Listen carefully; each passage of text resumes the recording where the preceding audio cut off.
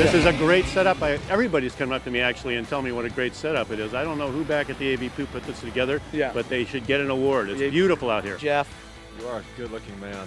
I feel like anyone tell we're pretty good, right? yeah, you're doing all right for yourself. Platchik or Playchik? I am just sick of asking people. What do you prefer? Well, it's pronounced Plachek, but everybody's been calling me Playcheck my whole life, so I usually go by Playcheck. Yeah. But it's actually Plachek. I think you and I are both better looking than we were in college when you were at UCLA and I was at If I met my wife back in college, she would not be my wife.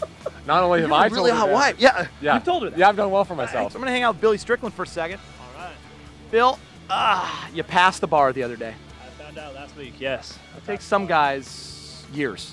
Uh, yeah. Luckily, it only took me once, so I thank goodness I couldn't imagine doing it again. Talk about the tennis uh, beatdown you gave Hans Stolfus uh, last weekend. What what was he even thinking trying to play you? Austin Rester is peeing right now, and uh,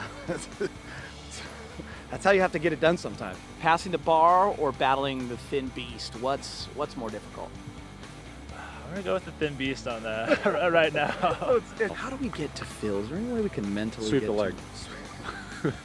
Trying to get that guy one good injury. Let's see how he plays then. Join So the you rest of wanna the do a group. full, put him in a body bag, Johnny. After the Sweep the leg, Karate After Kid. The Olympics. Go win your gold medal. Good luck to you. Uh-huh. I'm fully in support of you, but after that, You're gonna sweep the leg. get yeah, let me have a chance. It's easier to pass the bar. Uh, say yeah, just because I, I did pass it, I haven't beat him yet. So Let's not throw karma like that around. Yeah, I know. It's not even funny. You know, it's not even funny. Phil, we're I kidding. can't believe you just went there. Nah, nah, we're totally kidding, Phil. No one wants you to ever get hurt. Phil, I love you. We